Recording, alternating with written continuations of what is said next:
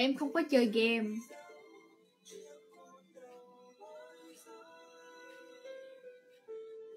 Không delay luôn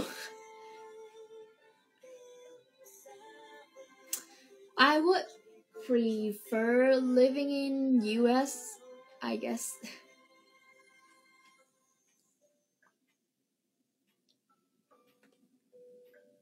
Hello anh, Trung Stony. Phòng ngủ của chị chưa có dọn dẹp gì hết đâu em à, nên là chị muốn cho coi được.